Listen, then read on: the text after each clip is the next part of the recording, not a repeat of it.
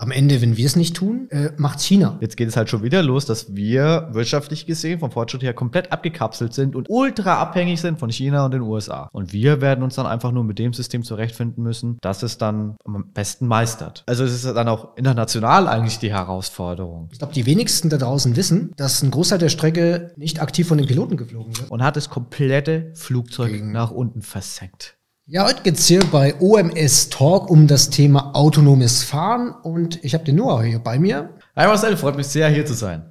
Aber das Thema hatten wir ja schon bei der KI mit besprochen, dass vor allem China und die USA sehr stark miteinander oder sehr stark dem Thema KI drinnen sind. Und dasselbe ist jetzt schon wieder auch beim automatisierten Fahren, weil es ist ja alles KI gestützt. Wir haben Baidu, wir haben Google als die beiden größten Giganten auf dem jeweiligen Kontinent. Jetzt geht es halt schon wieder los, dass wir wirtschaftlich gesehen vom Fortschritt her komplett abgekapselt sind und ultra abhängig sind von China und den USA. Und da musst du dich auch wieder fragen, weil in einer anderen Folge hatten wir ja auch das Wertesystem angesprochen. Ja, stell dir mal vor, drastisch gesagt, Russland bringt so ein Auto auf die Straße. Glaube, das ist jetzt aus ausgeschlossen. Die haben das sich jetzt, ja jetzt das aus dem Ding komplett rausgebombt. Stell dir mal vor, der hätte etwas mehr Geduld gehabt und in Russland hätte es drei Millionen Autos gegeben, die von russischen Ingenieuren entwickelt und programmiert worden sind. Und dann kommt irgend so ein Großdetailtor hin und sagt, okay, wir machen es wie ein Airdrop, wir lassen die Dinger jetzt mal Randale fahren. Ja, das ist ja ein spannender Aspekt. Also mö möchtest du überhaupt ein Auto aus dem Ausland haben oder aus einem Land, wo du nicht weißt, wie da sich das alles entwickelt? Weil letzten Endes, wie gesagt, deren Wertesystem ist in deinem Auto einprogrammiert. Also es ist dann auch international eigentlich die Herausforderung. Hätten wir jetzt eine absolute Utopie und wir würden alle im Frieden leben und mein Gott, eine KI führt die ganze Welt an, dann wäre ja alles kein Problem. Aber wir haben wieder unterschiedliche Interessenskonflikte an verschiedenen Orten und eben auch das Thema, wenn Russland sowas machen würde. Ja gut, das könntest du ja auch weiterspinnen. Ne? Das Problem ist, wenn die Dinger miteinander connected sind, dann ist natürlich auch die Gefahr der Hackbarkeit. Ne? Man stellt sich mal vor, wir haben da Millionen von Autos, die da automatisiert draußen runterfahren und dann hackt ein anderer Terrorstaat diese Technik und äh, sorgt dafür, dass Tausende von Autos in der Sekunde einfach aufeinander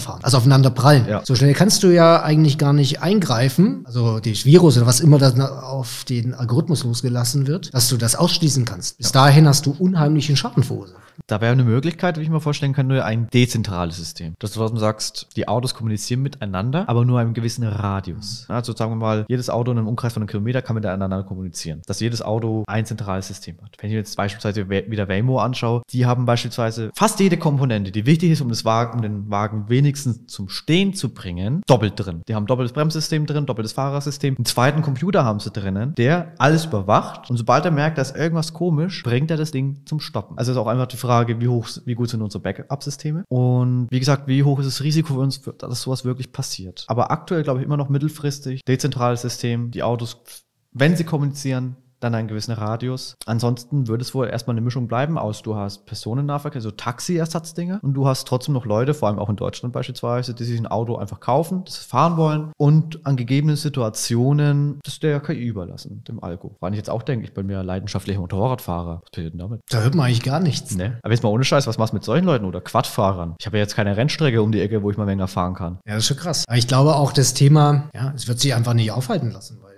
am Ende, wenn wir es nicht tun, äh, macht China. Die haben ja Millionen Städte mittlerweile äh, da mhm. hochgezogen, wo halt mittlerweile sehr viele autonome Autos und immer mehr da rumfahren. Ne? Ja. Die haben ja da echt interessante Unternehmen, auch sehr spannende Unternehmen. Kommen ja sogar jetzt auch im deutschen Markt, äh, mhm. äh, BYD zum Beispiel, die recht preisgünstige Elekt äh, Autos haben, Elektroautos, die aber schon auch die Technik ähnlich wie Tesla an Bord haben. Der Ansatz, den du sagst, ne, das kann man durchaus vorstellen, dass da dass praktisch ähm, einmal du einen Algorithmus hast, der natürlich vernetzt arbeitet, um die Konnektivität sicherzustellen, aber du irgendwie so eine Art Fundament hast, wo sozusagen der Algorithmus autonom entscheiden kann. Wo es praktisch nicht draufgehen kann, dass du jetzt den so hackst, äh, du Auto gegen das andere Auto. Und dass das wirklich final so ausgeschlossen ist, dass du da gar nicht von außen sozusagen an diese Entscheidung rankommst. Bei Mercedes beispielsweise, die testen es ja Stufe 3 fahren aktuell. Die testen es ja aktuell auf der Autobahn und da hat sich auch die Frage gestellt, du kommst in eine Dilemmasituation, zum Beispiel, ich meine, in dem Fall ist es ja nur für die Autobahn. Was könnte passieren? Einer fährt knapp hinter dir auf, das kannst du ja nicht verhindern in dem Fall. Und vor dir schert jetzt einer noch richtig eng ein. Was machst du? Wenn du bremst, fährt der dir hinten drauf. Wenn du Gas gibst, fährst du vorne drauf. Also entweder oder. Und bei Mercedes haben die das so programmiert, vorne die Kollision verhindern. Das ist das ultimative Ziel. Vorne die Kollision verhindern. Weil die Theorie ist gut, wenn ich hinten oder wenn ich abbremse, dann hat der hinter mir auch noch Zeit abzubremsen und der dahinter hat ja wieder mehr Zeit zum Abbremsen. Also die Wahrscheinlichkeit, dass, auch eigentlich letztendlich Wahrscheinlichkeitsrechnung, die Wahrscheinlichkeit, dass ich einen Unfall baue, wenn ich abbremse, ist geringer, als wenn ich Gas gebe und dem vorne reinfahre. Das ist der Mercedes-Ansatz für dieses Fahrtszenario.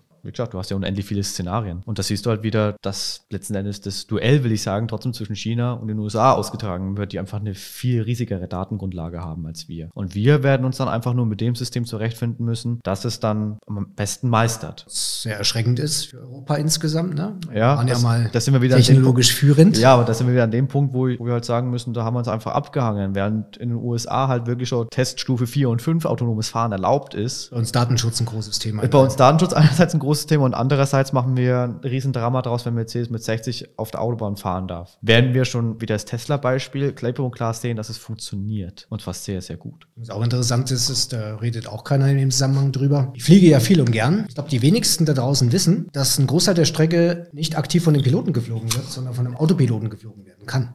Das heißt, der Pilot könnte eigentlich jeden begrüßen, sich im Nachbarsitz setzen und einen trinken äh, mit dir als Fluggast. Und das Ding steuert autonom. Und selbst wenn es von der Strecke oder von, von, von der Route mal weggeblasen wird, korrigiert es das wieder und kommt wieder auf die richtige Bahn. Und Autopiloten gibt es ja schon sehr lange im Flugverkehr. Und da hat man da auch kein Problem. Ne? Sitzen immer zwei äh, im Flugzeug. Und da sage ich wieder, naja, das ist auch eine Art der Sicherheit, die man natürlich den Menschen gibt, weil du hast einen Piloten, du hast einen Co-Piloten. Das heißt, äh, ne, du hast zwei der Sicherheit. Aber diese Strecke wird doch zum nicht geringen Teil von einem Computer mehr oder weniger ähm, übernommen, wo kein Pilot die ganze Zeit am, am, am Steuerhebel. Das ist das, das Letzte, wo ich jetzt dran denken muss. Also streng genommen ist das ja auch nur autonomes Fahren mit Aufsichtsperson. Also wenn du nach der Skala gehst. Betreutes Fahren. Betreu, betreu, Äh, Fliegen, betreutes Fliegen in Fliegen dem Fall. Das ist ja Stufe 4, wenn du es wieder so nimmst. Und jetzt musst du auch mal trotzdem drüber nachdenken. Einer der letzten Flugzeugabstürze, an die ich mich wirklich erinnere, Mhm. weil das ja dramatisch war, war das Thema, da ist, glaube ich, der eine Pilot ist rausgegangen. Auf jeden Fall war am Ende nur noch der Co-Pilot in dieser Kabine drinnen und hat das komplette Flugzeug Gegen- nach unten versenkt. Ja, das war, glaube ich, vor sechs oder sieben Jahren im französischen Alpen, der sich da anscheinend selber umgebracht. Also das ist immer noch, ne? Er hat sich anscheinend selber das aktiv, dieses Flugzeug gegen den Berg oder so gesteuert. Ja, eben. Eurowings war das, glaube ich. Ich, ich weiß nicht mehr, was war. Ich weiß nur noch, dass das passiert ist und dann musst du dich halt auch trotzdem fragen, gut, freie Entscheidung hin oder her oder möchte ich das Leben einer Maschine geben oder einem Menschen. Aber anhand dessen, wie das jetzt funktioniert, bin ich mittlerweile einfach schon so weit. Ich bin ja auch mit Technik aufgewachsen, muss man fairerweise sagen. Ich bin so weit, dass ich jederzeit sagen würde, ich vertraue eher der Maschine